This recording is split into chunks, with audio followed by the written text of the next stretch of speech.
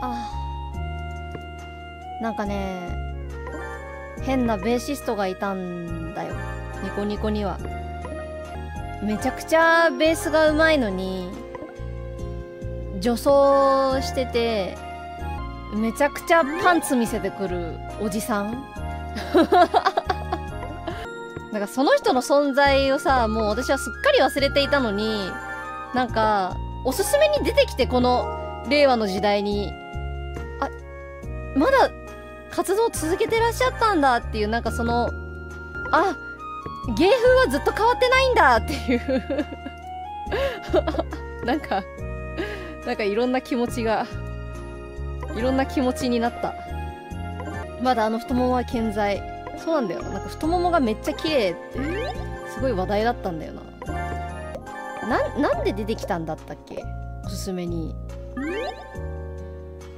あロリカミロリカミだ。ロリカミでなんかロリカミ弾いてたんだよね。ロリカミレクイエム。